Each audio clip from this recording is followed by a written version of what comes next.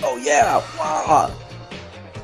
Jo, hi, willkommen. Mein Name ist Danilo LP und ich begrüße euch zu meinem neuesten Projekt und zwar Worms 3D für die PS2 von Sega und Team 17 von mir Let's Play für euch. Boah, sehr geil. Und ja, ich freue mich schon so lange auf dieses Spiel. Ich äh, wollte es ehrlich gesagt schon vor einer Woche aufnehmen, allerdings äh, habe ich gemerkt, ich habe irgendwie keine Kopie mehr von Worms 3D. Oder ich kann meine nicht finden oder habe ich verkauft und glaube ich aber nicht und oder habe ich verliehen, weiß ich nicht. Jedenfalls hatte ich sie nicht mehr, musste mir sie neu bestellen und jetzt bin ich hier.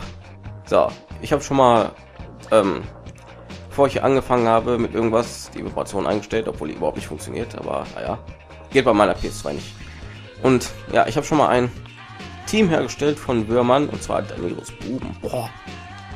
Da haben wir unsere Hauptcharakteren und zwar William Orm, da versteht einer, Rainer Skill, da versteht einer, Bob Verklopp, Olaf Günther, Karl Hans und Dani Ruh.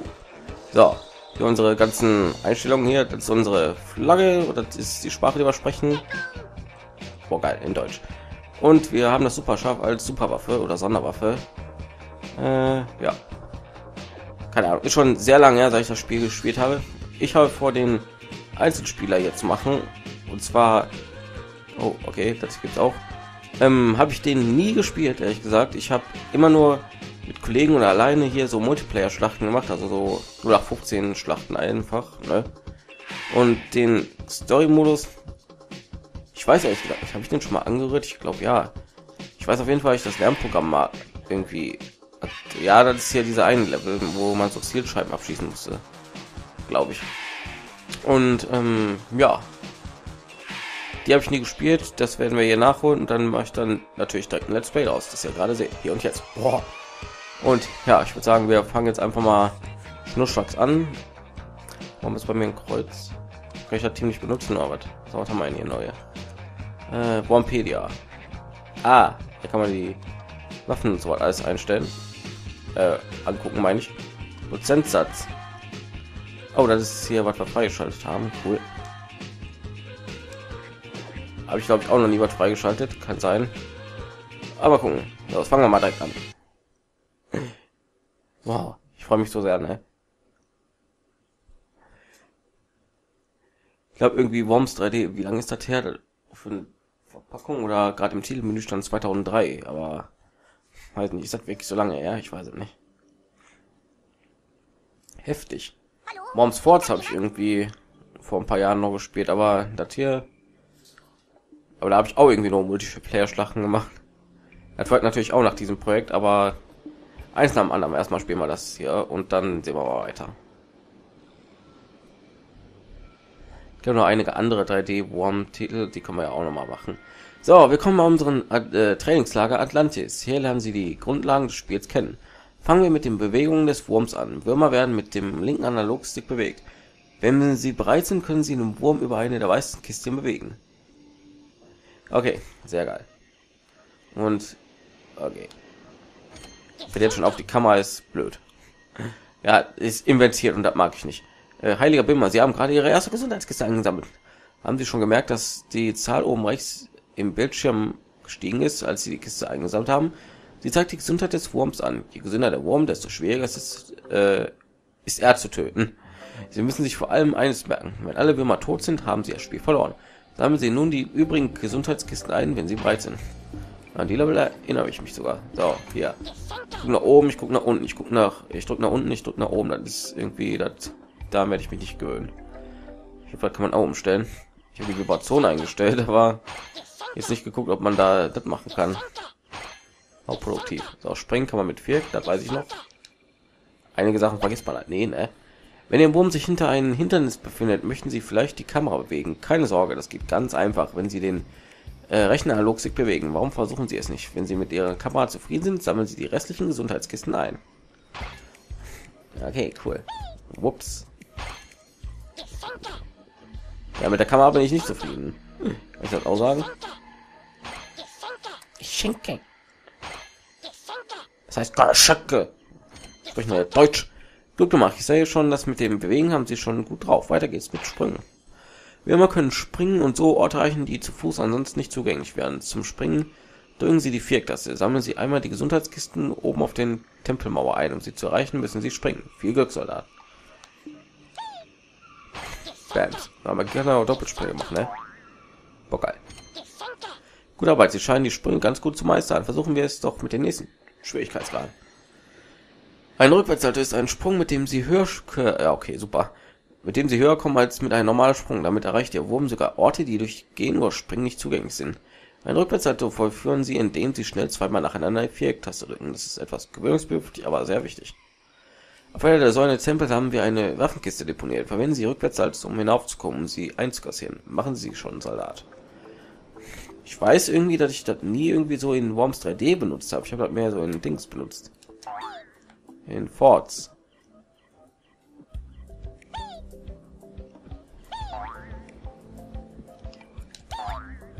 Wenn man davon nur zweimal drücken. Ich glaube, wenn man mehrmals drückt, dann funktioniert das nicht so, wie ich das jetzt gerade bemerkt habe. Glückwunsch zur ersten Waffenkiste. Waffenkisten enthalten Waffen, die sie brauchen, um ihre Feinde zu vernichten. Damit ist eigentlich klar, wie wichtig sie sind. Da sie ja eine Bazooka eingesammelt haben, wie wäre es mit ein paar Schießübungen? Öffnen Sie die Waffenleiste mit der Kreistaste und wählen Sie äh, das Bazooka-Symbol mit der X-Taste, um die Bazooka zu wählen. Drücken Sie nach der Auswahl die X-Taste zum Feuern. Je länger Sie die Taste gedrückt halten, desto weiter geht der Schuss. Verwenden Sie die äh, Steuerkreuztasten, um einen Flugbahn und die Richtung zu wählen. Sehen Sie Ziel an dem kleinen Tempel dort drüben, versuchen Sie diese mit der Bazooka zu erwischen. Nehmen Sie sich genügend Zeit. Wenn Sie nicht treffen, macht das nichts. Sie haben genug Munition. Okay, mal gucken, wie ich mich da anstelle. Wupp. So, Kreis, okay. Bazooka, boah. Boah, nicht so hoch. Hey, da ist nicht inventiert, was? Wie? Äh? Okay.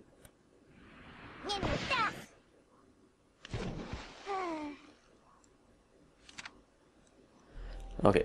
Der erste Schuss hat schon mal mein Gesamtskill hier definiert. Also ihr wisst, worauf ihr euch jetzt hier eingelassen habt. Ähm, weiß nicht, so volle Pulle. Jawohl. Guter Schuss. Sie machen hervorragenden Fortschritt. Ja, äh, alles ist besser als null. Vielleicht wäre es sinnvoll, beim Schießen einen anderen Kammerwinkel zu verwenden. Ja, ja. Diesen Teil erinnere ich mich auch noch sehr stark. Ja, boink. Jawohl. Haha, jetzt läuft's. Und jetzt mal schon die Windrichtung hier beachten. Nehme ich an. Sehr gut. Gut gemacht. Alles Ziel zerstört und die erste Mission im Feld mit fliegenden Farben bestanden. Wenn Sie mit den Schießübungen fertig sind, bahnen Sie sich den Weg zum Wasserflugzeug. Dann fliegen Sie raus zum nächsten Trainingsort. Trainingsstandort meine ich. Boah, geil. So, so. wenn man auch blöd, dass die Kamera so ist. Warum ist hier vollkommen alles inventiert, ey? Damit komme ich gar nicht klar. So, was ich aber noch weiß, da drin ist noch was, das weiß ich auch noch. So ungefähr zehn Jahre später weiß ich soweit immer noch klar. Aber wie ich sehe, haben sie ein Geheimnis entdeckt. Geheimnisse finden sie über das gesamte Spiel verteilt. Wenn sie auf ein Geheimnis stoßen, kann ein Contest-Menü, ein Wurm-Pot-Modus, ein neues Level oder etwas anderes freigegeben werden. Diese Geheimnisse hat der Mehrspielerkarte freigegeben. Hat diese Mehrspielerkarte freigegeben. Glückwunsch, sparen Sie sich nun den Weg zum Wasserflugzeug, um die Mission zu verlassen. Und denken Sie daran, die kommende Mission die Augen offen zu halten. Man weiß nie, wo Geheimnisse auf einen warten. War geil. Okay, kann ich das auch mich da kaputt machen oder habe ich das schon freigeschaltet? Ach so, ja. Ja gedrückt halten. Um weiter zu schießen. Ja, wie gesagt. Ihr wisst, worauf ihr euch eingelassen habt. So. Okay, ist unkaputtbar. Ja, ja, genau, so kann man auch so gucken.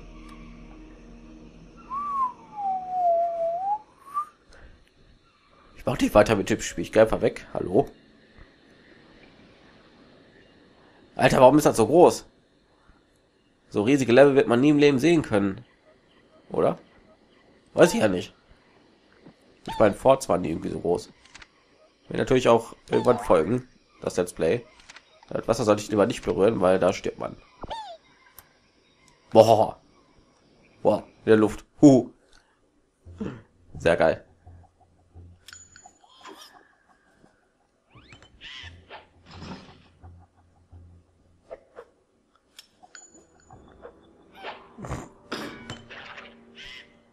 Okay.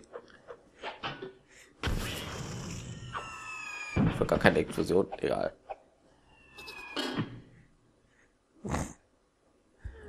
Wir haben irgendwie einen Knall.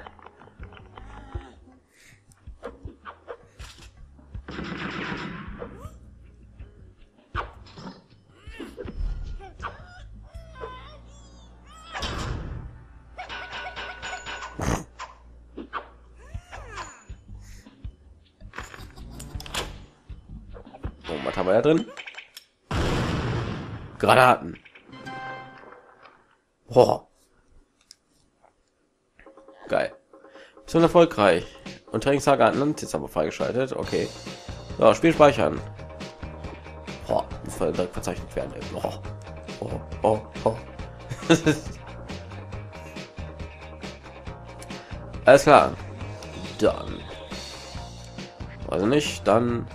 Also erstmal äh, muss ich erstmal gucken hier. Bitte hier die Inventierung umstellen.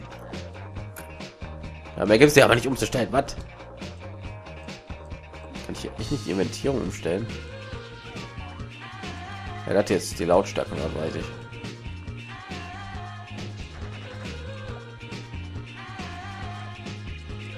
Okay. Ähm, ja. Geht nicht. Warum nicht? Nein. Okay, dann. Oh ja. Dann werde ich ein paar Probleme haben. Na gut, Lernprogramm weiter. Zwölf Minuten, ja klar, schauen wir noch. Nun hat wir Grundlagen beisammen. Eigentlich wollten wir ihn im Stellenplätzchen etwas Training in Granaten werfen zu kommen lassen, aber anscheinend hat der Feind Wind davon bekommen und ist ihnen das Gebiet eingedrungen. Sieht so aus, als müssen sie Granaten einfach sinnvoll einsetzen und den Feind erledigen. Viel Glück, Soldat. Aber ich habe letzte eigentlich vorgelesen. Wir kommen in der Welt von Worm 2D Soldat. Ich bin Major Blutbad. Was?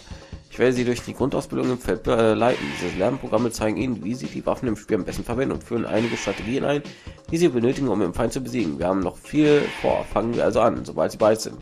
Ich glaube, ich gar nicht vorgelesen. Verdammt. Ach, jetzt habe ich hier ein Häkchen. Das heißt, ich habe mit denen geschafft oder was? Daniels Buben. Ja, und dann ab zur nächsten Mission. Tiefer geht's nicht.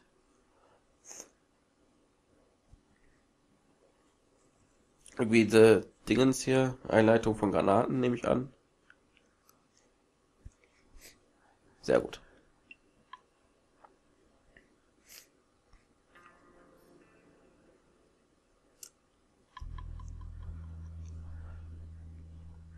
Hey, da bin ich. Na?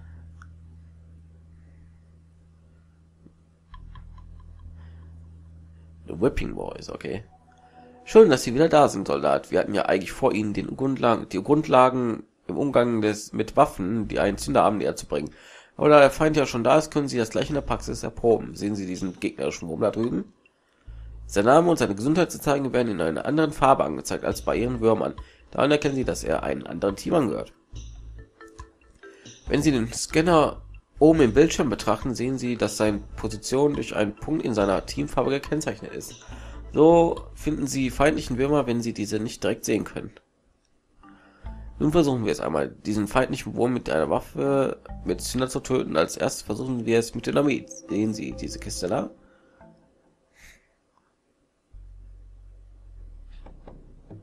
Das ist eine Waffenkiste. Erinnern Sie sich noch daran?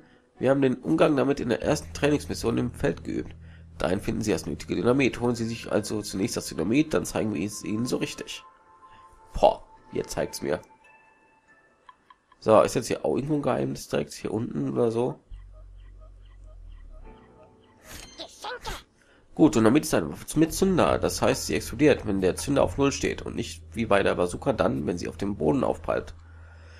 Wählen Sie das Dynamit aus, indem Sie die Waffenleiste mit der Kreistaste öffnen und dann das Dynamit-Symbol wählen. Nach Auswahl des Dynamits mit der X-Taste bewegen Sie den Wurm mit dem linken Analogstick an den gewünschten Explosionsort, in diesem Fall direkt neben dem feindlichen Wurm. Drücken Sie die X-Taste, um das Dynamit fallen zu lassen. Doch ich muss Sie warnen. Sobald Sie das Dynamit fallen lassen, müssen Sie schnell Land gewinnen. Es kann urplötzlich explodieren. Wenn Sie bereit sind, lassen Sie das Dynamit neben den Feind fallen und verwenden Sie Ihre Rückzugszeit, um sich möglichst weit vom Ort der Detonation zu entfernen. Gehen Sie ran. Dachte, ich soll weg davon. Okay, egal. Ja, ich werde mich nicht daran gewöhnen können. So, Dynamit. Hm. Irgendwie einen Zünder einstellen oder so. Hm. Wie kann man denn die Explosionszeit einstellen? Egal. Äh, kümmere durch darum.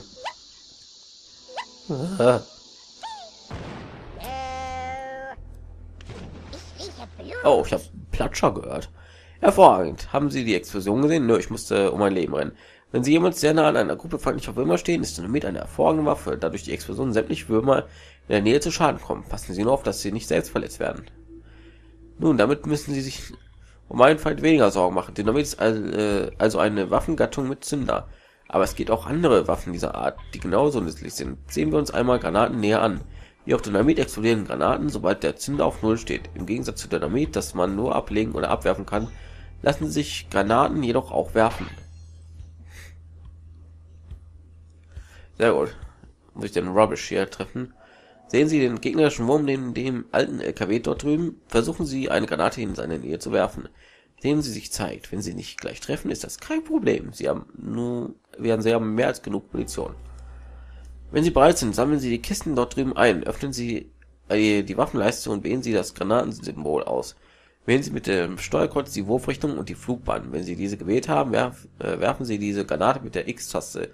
Je länger Sie die Taste gedrückt halten, desto weiter wird die Granate geworfen. Kann ich auch irgendwie anzeigen hier, wie mein Charakter heißt? Ich kann vom Gegner hier sehen, aber von mir nicht. Doof. So, Granate. Na. Dann komm mal her. Pasch. Das war nicht weit genug. Wie? Warte, jetzt komme ich ein paar Millimeter näher. Was sagst du jetzt dazu? Vor allem sind da Würmer, deswegen Millimeter, ne?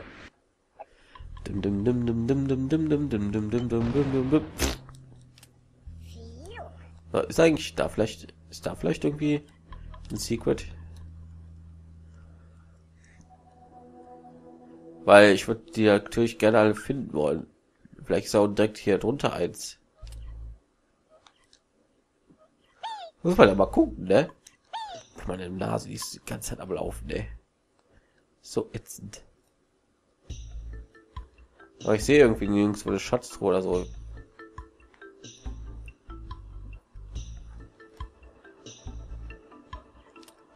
Lass mal mal. Hm. So, dann noch mal das Ganze. Habe ich getroffen? Nee. Na warte, dann jetzt. Verdammt, das war nicht zu.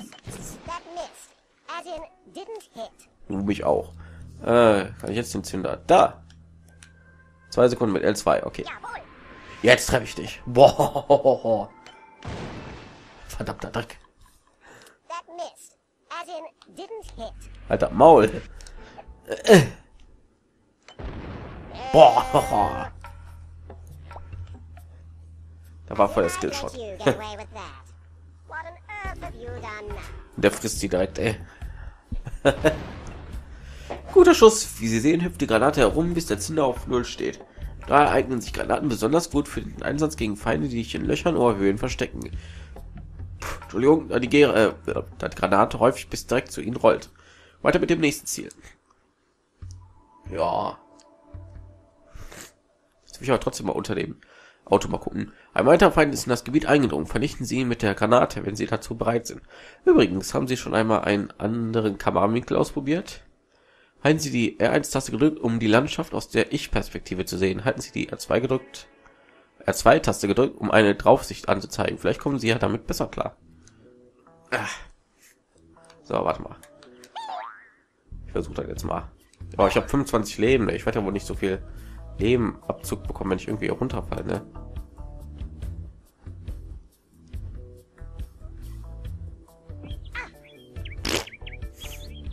Von daher ist hier wirklich ein Geheimnis, ne? Muss ich doch wissen. Boah, ein.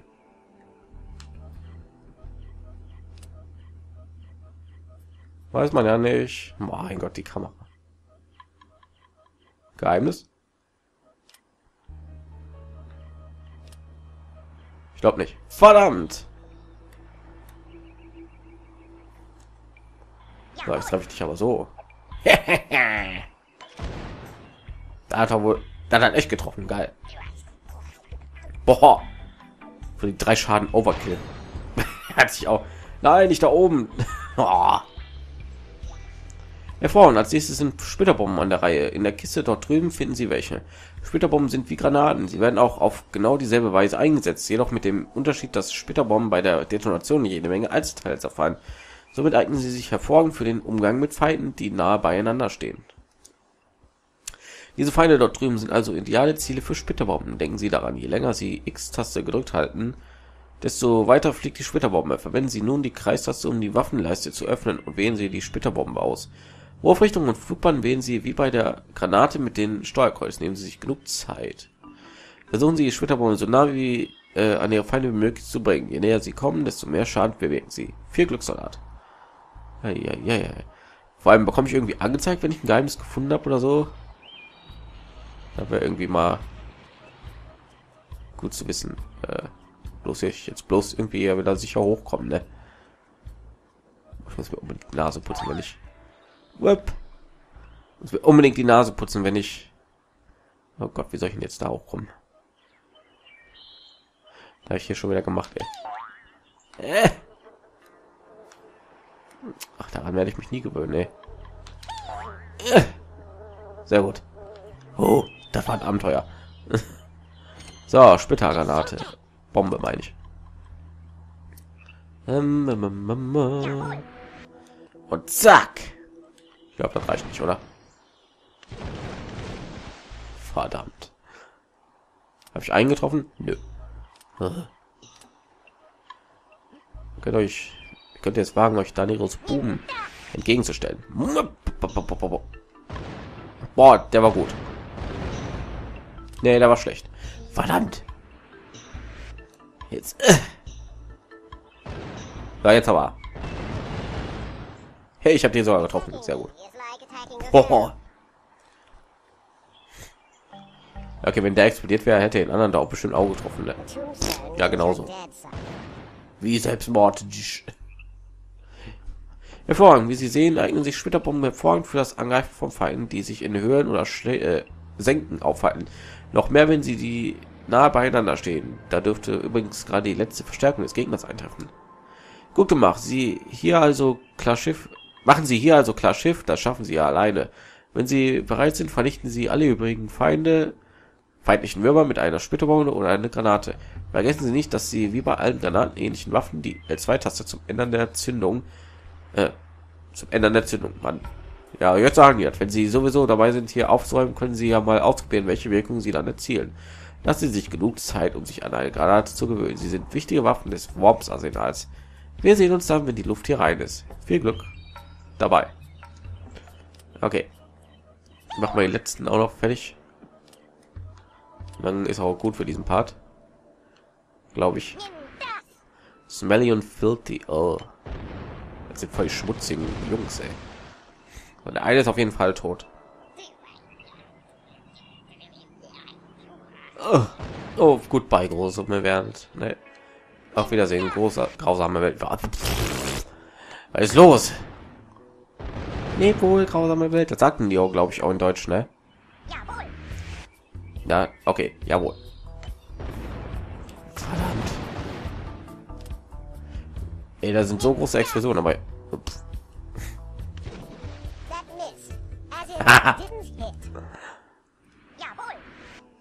Die Stimme von dem, ey. Hat getroffen? Was? Soll aber. So, jetzt aber. Wie können die alle daneben treffen? Ja, Granaten werde ich glaube ich nicht so oft benutzen, wie es scheint. Verdammt! Was ist das? Stirb! Sonderbar. Das ist eins, aber jetzt muss ich aber treffen. Eins. Scheiße. Ey. Hier schon die ersten Kommentare. Hör du bist scheiße. Jetzt aber. Will ich eigentlich. So, jetzt mach ich mal Skill hier. Wupp.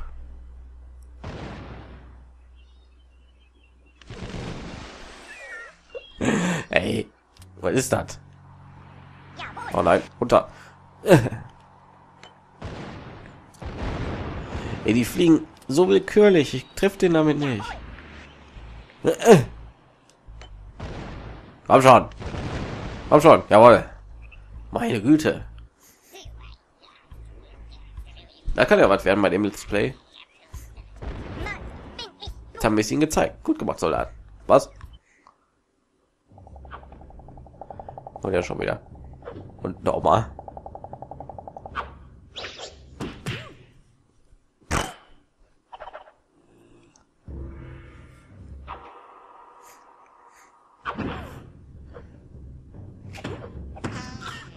Okay.